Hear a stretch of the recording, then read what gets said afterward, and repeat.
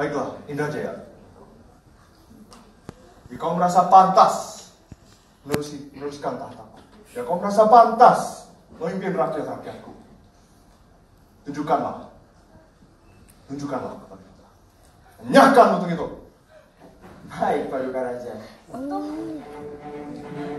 Tidak apa Mas. Percayalah padaku. Lutung, kamu tidak pantas untuk memimpin kerajaan ini. Kamu hanya seekor lutung. Aku, Pangeran Indrajaya, yang pantas untuk memimpin kerajaan ini. Kamu hanya akan membawa bencana bagi kerajaan ini. Lebih baik kamu mati saja. Ah.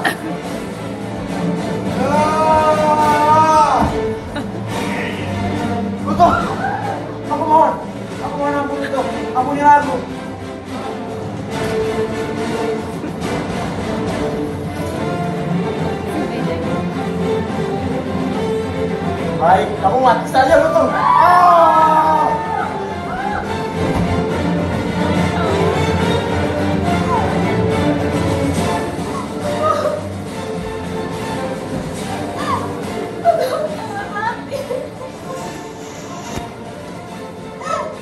Purbasari meneteskan air matanya dan membuat sosok Lutung Kasarung berubah menjadi Sang Hyang Guru Bida yang dulu dikutuk menjadi seekor.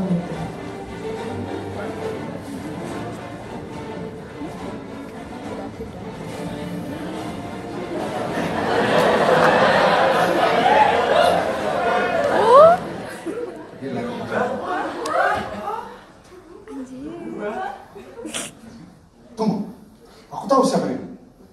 Kamu, kamu Samyang Paduka Raja. Hah? Kamu lapar?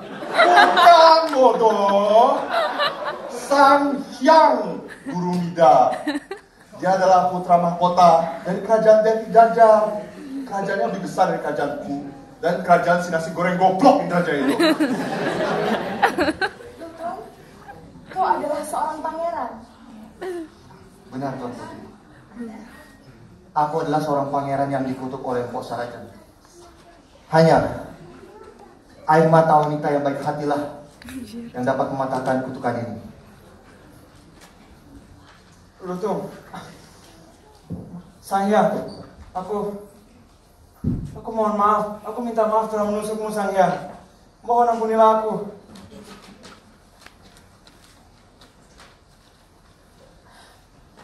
Purbasari, kuakui kesalahanku. Sesuai perjanjian, yang kalah harus diusir dari kerajaan. Kalian berdua, berdirilah, bangkitlah.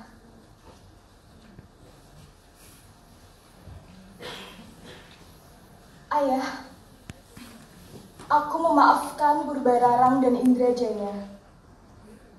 Bagaimanapun, Purbararang adalah kakakku.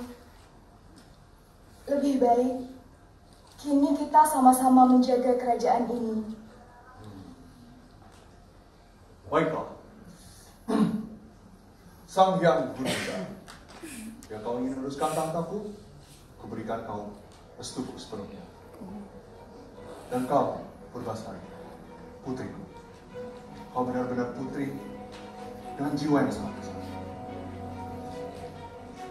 Maka bersiaplah untuk penobatanmu sebagai put, sebagai ratu dari kerajaan Pasir Panjang.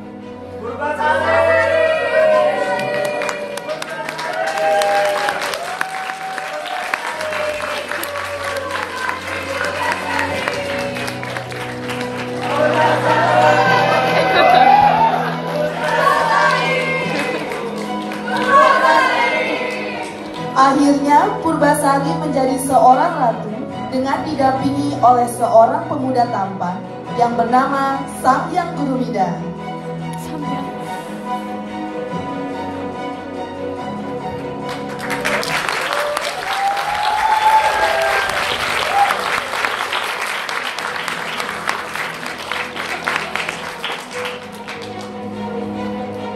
Mari kita sambut Regas, Christian, Heidi, Lintang, Jem, Andra, Dila, dan Michelle sebagai rakyat.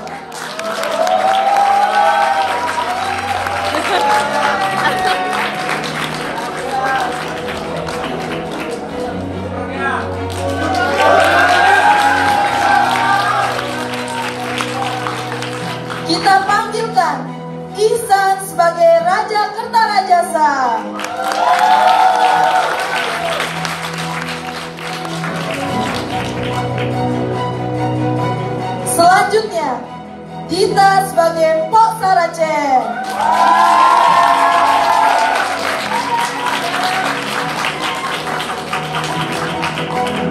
Lalu Alvin dan Akmal